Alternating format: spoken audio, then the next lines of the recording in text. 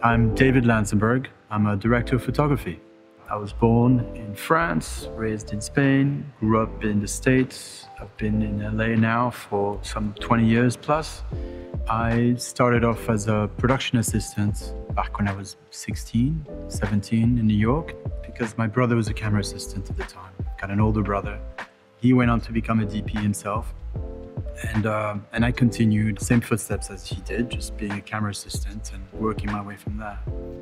Every project is different. Some directors will have a very specific idea of how they want to approach the look and tone and how to tell the story visually. And some others, they really truly rely and they appreciate what you bring to the table. And, but it is a dialogue between the director and, and the director of photography. As the cinematographer, you're really there to accomplish what the director wants. But the, the process is, is very unique to every person.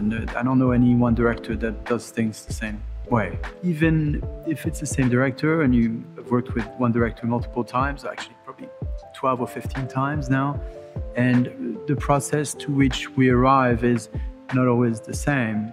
But the idea of where it starts with the performance and everything follows from there, I must say I'm a big fan of that just because you're able to tell the story, I think, in a much less uh, strict way. So I'm, I'm firmly believer in that. All the cameras out there are amazing. Certainly in the HD world, it's taken leaps and bounds to what they originally were. For me, I think probably these days with HD, it starts with the lenses and then it follows with the camera. One of the things I think I did a show uh, about a year ago, and it was a period piece. I think it was West Palm Beach, 1969. And uh, it was exciting because with period, you, you, really can bring a lot of great influences and great photography from, from that period. So we were able to develop something for that show that was very unique. We were able to tweak the lenses, we were able to build our own lookup table, our own LUT. And then the cameras where we felt would be the right choice as far as the, the, the color science and, and, what we bring to the table. I was asked to do some tests by the wonderful people at ARRI. So we treated these tests as if it was getting ready to potentially test for some hair and makeup prior to doing a show, which was fun. And then I got to experience uh, all these new lenses that I had not worked with before, the DNAs, I knew the signatures from working prior to them, but I'd never worked with the Alexa 35. And we also got to work, which I'd never done with the uh, the volume wall, which is a smaller version, I imagine, of the, the big dome. It was very exciting and, and great to come up with something with Cassidy, who built this wonderful uh, desert-like environment.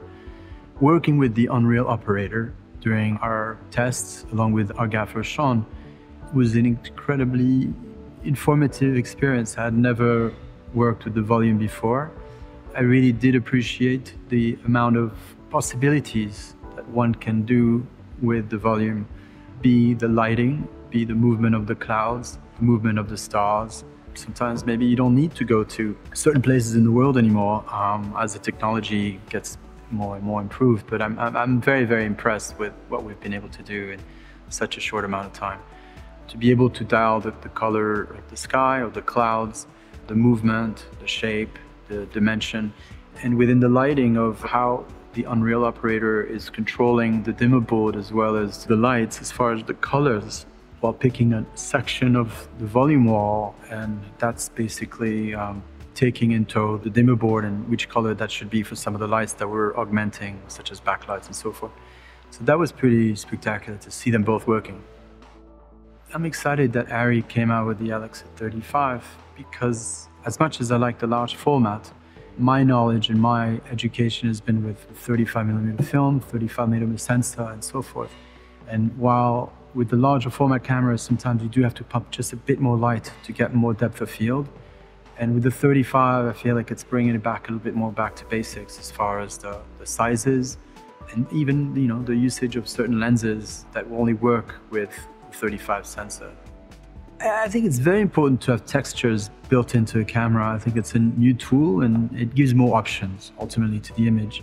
Uh, one of the things that we would do in the past is, you know, whether we flare the camera or push lights into the lens just to give it some texture, but adding more options built into the camera that are baked in sometimes into the footage as far as textures, I think is a great idea. I mean, HD can be very crisp at times So it's nice to, to, to give it a little bit of character for sure.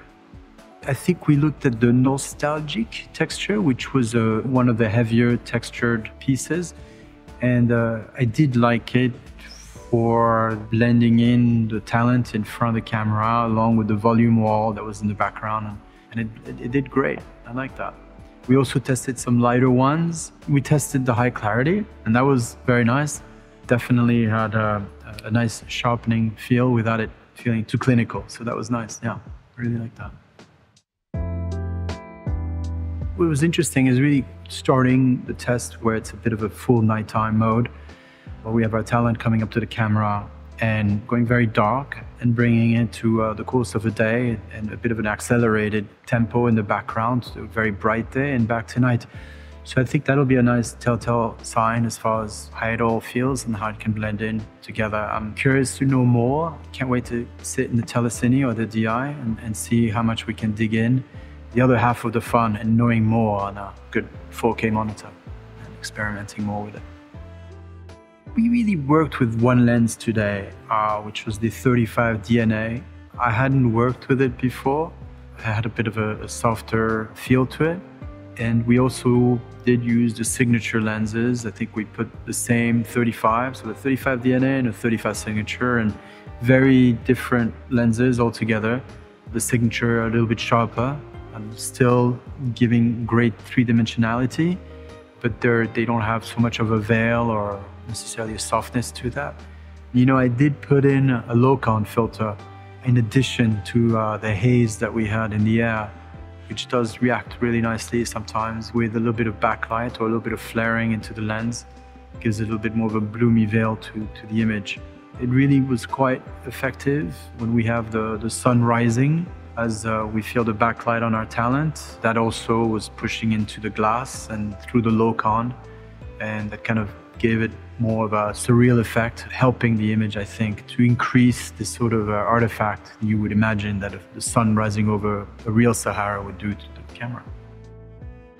I would tell younger cinematographers to really pay attention, to be patient, to keep really an open eye and to know that everything starts with the performance and things follow. Where you put the camera, how the lighting affects the scene. But really, it always starts with the performance first. I think also to remember that you're only as good as your crew. You really have to have a solid crew and people you enjoy working with.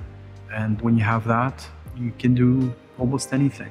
And uh, that's very important, I think, to have. What's my favorite thing about being a cinematographer?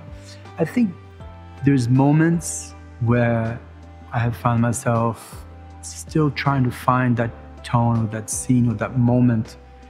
Every show is different, but there's moments within that, within those scenes, within these environments, and you're trying to find that special moment, a special look, and, and everything slowly comes together. And the exciting part is when it's all coming together.